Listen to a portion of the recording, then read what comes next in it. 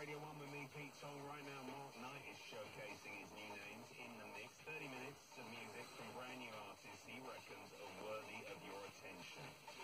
So far tonight, you heard selections from myself as well as Tiga.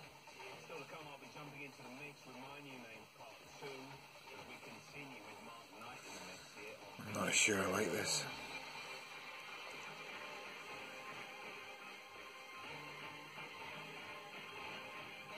Is the baby of the bunch, David Jackson at the age of 16.